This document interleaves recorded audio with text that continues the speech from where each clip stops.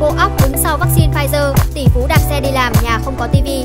Cho đến cuối năm ngoái, rất ít người ngoài cộng đồng khoa học biết đến tên tuổi của giáo sư Ugu Sahin, người sáng lập ra BioNTech. Đầu tháng 12 năm ngoái, ông Sahin chính thức gia nhập danh sách 500 người giàu nhất thế giới với tổng tài sản 4,3 tỷ USD sau khi anh phê duyệt vaccine Pfizer. Ngay cả khi đã gia nhập những tỷ phú giàu có nhất thế giới, vợ chồng ông Sahin vẫn gần như chỉ tập trung vào công việc thúc đẩy thành tựu khoa học. Họ không quan tâm nhiều đến giá cổ phiếu công ty đã tăng vọt, cũng không bán bớt cổ phiếu.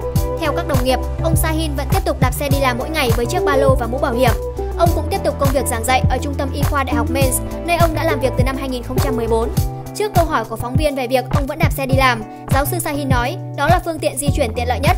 Khi được hỏi liệu sự nổi tiếng có khiến ông thay đổi lối sống hay không, ông mỉm cười và nói tôi thuộc tầng lớp trung lưu và hoàn toàn ổn khi sống một cuộc sống đời thường. Gia đình ông Sahin hiện vẫn sống trong một căn hộ giản dị gần cơ quan, một căn hộ thậm chí không có tivi, đơn giản là vì họ chỉ tập trung cho công việc nghiên cứu.